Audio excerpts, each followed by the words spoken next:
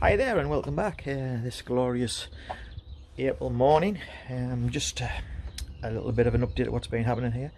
We've had a pigeon, a fantail, that's had canker in the throat and what I've been doing for the past 10 days I've been uh, isolated her first, medicated her, um, removed the canker um, so it's a little bit graphic so I just thought I'd give you a little bit of a heads up so this is basically what we would do with a pigeon that had canker what we would treat her with and isolation. We've kept her in the warmth because it's been quite cold here. We've had like minus fives, minus sixes.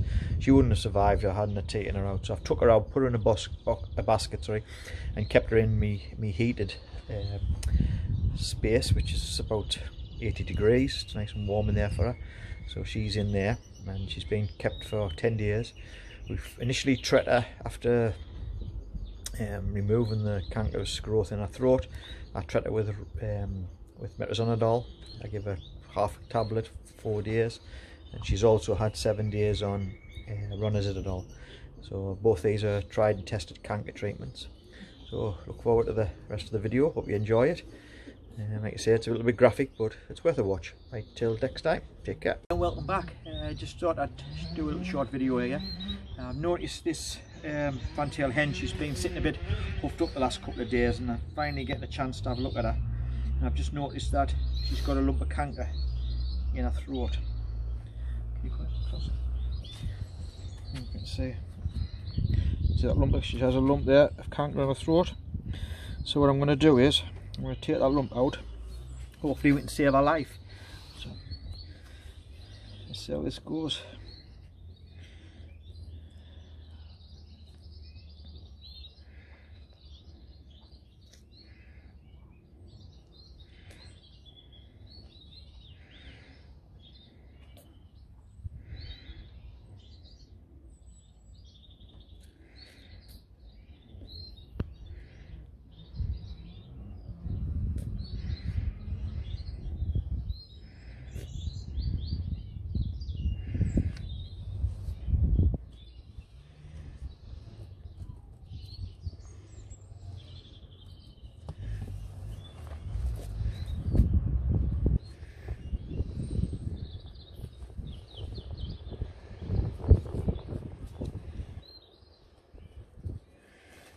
All right.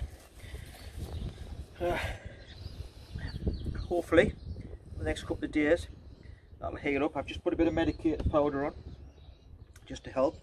And as you can see, there's the lump of canker that was in her throat. And then what I'll do now is I'll give her a course of um, anti-canker treatment using some metronidazole and see how it goes. Right, I'll put her away now. Hopefully she'll survive. We'll have a look at her in a few days time to see if she's still alive. That's it.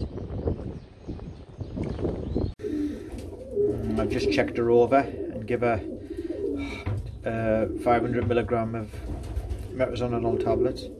Split her in half. Give her half then, another half then give her some water. Hopefully she'll be okay. We'll keep an eye on her. Right, it's been over a week now and um, fantail hen. She's still alive. She's a long way better than what she was. So if we just spin around and checking her throat.